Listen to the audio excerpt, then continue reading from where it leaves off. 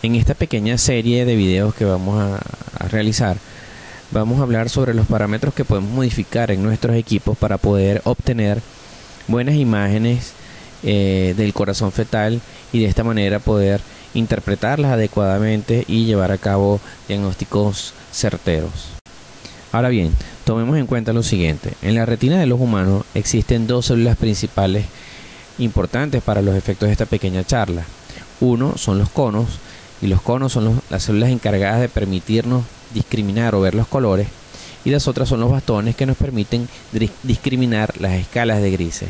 Es necesario que recuerden entonces, conos permiten ver colores, bastones nos permiten ver escala de grises. Otro parámetro importante que deben recordar es lo siguiente, los bastones son mejores para detectar movimientos, sin embargo los conos son mejores para la resolución visual. Quiero que se centren en lo siguiente, los conos nos permiten ver colores y los conos además nos permiten ver entonces los objetos, la nitidez de los objetos, es decir, nos dan la resolución de eh, la se han realizado mediciones de la cantidad de conos y bastones que existen en las diferentes porciones de la retina y vean ustedes que la mayor proporción de conos se encuentran en la fobia central. Sabemos de anatomía y de histología básica y de fisiología básica que el sitio donde nosotros enfocamos mejor los eh, objetos para verlos nítidamente es a nivel de la fobia central.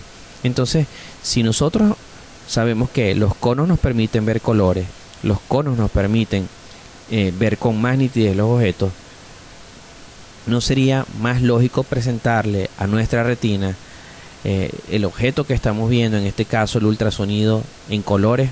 Es por esto que médicos como Gregory Debord, cuando realizan sus estudios, ven ustedes que la mayoría de sus imágenes o la totalidad de sus imágenes están en color sepia. ¿Por qué? Porque el sepia nos estimula los conos, los conos son los que ven los colores, aparte los conos nos dan resolución y los conos se encuentran en una mayor proporción en la fobia central. Y si hasta ahora no me crean, vean los, los dos siguientes ejemplos.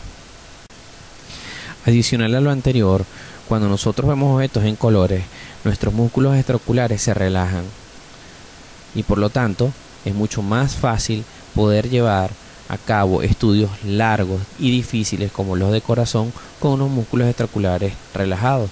Entonces la recomendación de ahora en adelante es que cada vez que vayan a evaluar el corazón fetal usen como color en su modo B, en su ecógrafo, en modo B, el sepia.